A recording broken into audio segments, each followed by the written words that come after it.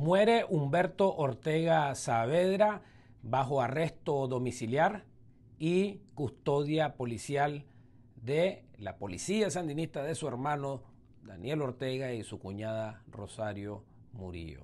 Esta condición de arresto domiciliar obviamente causó el estrés que eventualmente provocó su muerte.